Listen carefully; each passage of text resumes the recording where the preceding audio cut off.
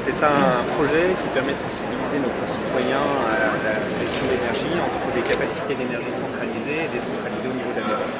Et vous avez au centre un nuage qui montre l'effet euh, sur le climat. Vous avez des capacités décentralisées, gaz, nucléaire, éolien et solaire. Et au niveau de la maison, vous avez des panneaux solaires, des batteries, et puis également des fuel cells qui sont très efficaces pour transformer le gaz en chaleur en électricité. Le jeu consiste, hein, c'est un jeu assez sérieux, à optimiser les deux profils.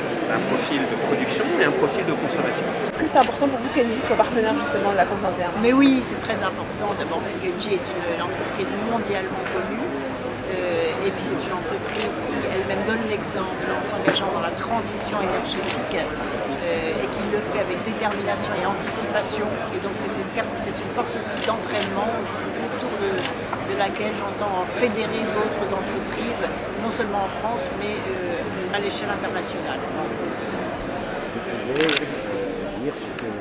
De, la COP21 ben, bonjour, j'attends de, la COP21 une mise en mouvement des citoyens, des entreprises, des territoires et bien sûr une prise de responsabilité des États pour aboutir à un accord.